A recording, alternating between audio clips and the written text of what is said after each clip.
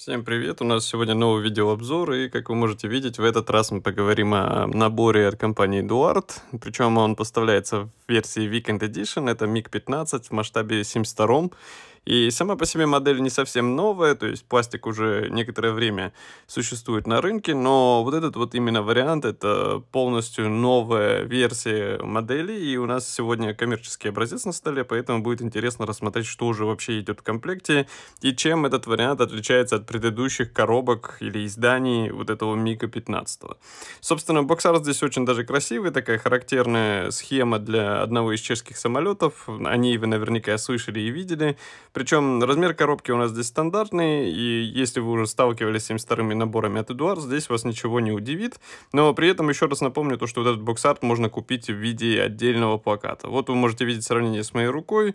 Э, как я уже сказал, коробка не очень большая, но это модель в 72 масштабе, поэтому вполне ожидаемо. Номер набора 7459, и здесь на борту у нас идет еще немного информации, что она изготовлена в Чехии. На другой стороне у нас есть 4 варианта окраски, причем они очень даже цветные, я бы сказал, для советского самолета это даже необычно скорее. Коробка с верхней загрузкой у нас здесь, и рамки уложены в несколько пакетов, то есть сейчас мы их начнем открывать и рассматривать все поближе. Начнем мы, собственно, с прозрачной рамки. Она выполнена вот такой вот круглой форме. Здесь у нас идут детали фонаря. И, разумеется, вы сможете открыть кабину, то есть здесь никаких проблем не возникнет. Единственное, что я бы мог посоветовать, это маски, потому что в Weekend Edition у нас масок нет. То есть, если вы хотите получить аккуратную окраску, лучше все-таки раскошелиться и докупить эти маски от Эдуарда, чем самому пытаться вырезать и закрывать вот эти детали. Далее у нас идет э, первая серая рамка. Здесь у нас идут половины фюзеляжа, причем обе половины отлиты скелем, но без руля направления. Вот вы можете видеть другую, левую и правую. В принципе, э, дизайн до сих пор смотрится очень даже неплохо. Видно, что эдуардовцы делали это с заделом на будущее, и при этом ничего здесь э, не состарилось в плане проработки. Внутренняя расшивка выглядит очень даже аккуратно. Единственное, что нужно будет постараться, это не зашлифовать ее при сборке, потому что у меня вот такое вот уже было, когда вот эти вот две детали соединяются вместе, нужно все-таки как-то стыки обрабатывать, и в итоге получается то, что немного расшивки уходят, и приходится делать рескрайбинг. Внутри у нас есть направляющие, как для сопла двигателя, так и для кабины, но насчет кабины рекомендую не беспокоиться, потому что она будет собрана отдельно и вставлена между половин фюзеляжа, Обратите внимание, то, что сопло здесь довольно-таки простое, никакого двигателя, разумеется, здесь нет. И есть также специальные э, тонкие секции, где можно установить воздушный тормоз, но это уже выбор за вами, потому что воздушный тормоз, он докупается отдельно в виде бросин набора, и, разумеется, здесь уже нужны будут определенные навыки, чтобы установить такие тонкие детали на эту модель, как-никак 72 масштаб. Далее у нас идет э, другая, вторая рамка, на ней уместились детали крыла, и причем каждая из сторон крыла будет склеена из двух половин. Элероны у нас э, послужат также и направляющими, как вы можете видеть, на одной из половин их нет.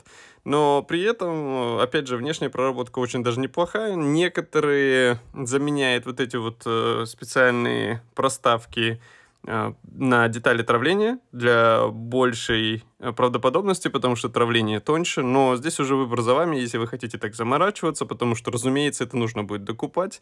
И внутри, опять же, есть вот эти вот тонкие места, которые можно просверлить для установки пилонов и других дополнений на самолете. Но, в принципе, качество литья очень даже неплохое. Обратите внимание, то, что все питатели размещены на передней кромке крыла.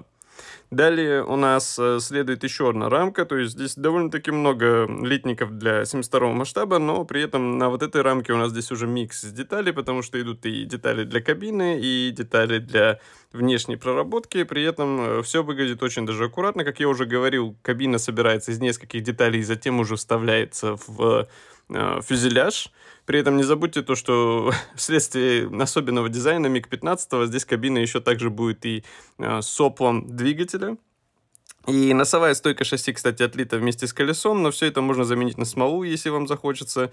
То же самое касается и кабины. Есть э, дополнение из смолы оригинальные, эдуардовские, но, разумеется, это все будет стоить дополнительных денег, поэтому здесь уже выбор за вами, если вы хотите потратиться на такое дополнение. И в таком случае уже точно придется открывать кабину, чтобы показать всю эту красоту.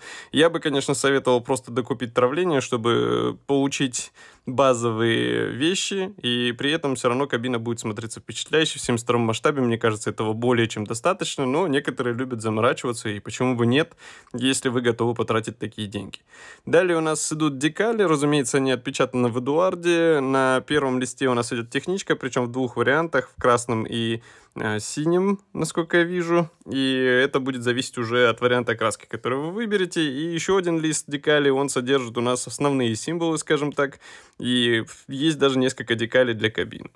Инструкция у нас типичная для этого производителя. Цветная брошюра с исторической заметкой. Синим цветом здесь на карте деталей отмечены детали, которые не будут использованы. Как вы можете видеть, их немного.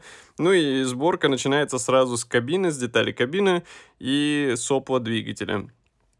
А, точнее воздухозаборника. Здесь же нужно уже использовать декали для кресла пилота. Как вы помните, у нас э, декалями даны ремни, вот вы можете видеть их поближе.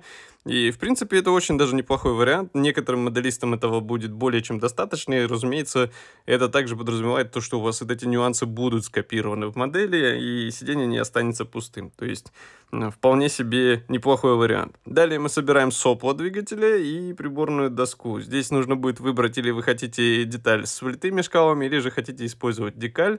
Затем собираем крыло, э, устанавливаем нижнюю панель фюзеляжа в носовой части, которая, собственно, закроет все вместе. И обратите внимание, то, что носовая секция тоже у нас отдельная, то есть вот этой вот области не будет никаких ненужных стыков, и это очень даже неплохой дизайн, который позволит сохранить опрятный вид модели. Далее мы продолжаем сборкой шасси. Здесь устанавливаем основные стойки вместе с колесами, и здесь же нужно будет немного попотеть, потому что есть определенные нюансы, где нужно согнуть правильно пластиковые детали, но это вследствие оригинальной конструкции этого самолета.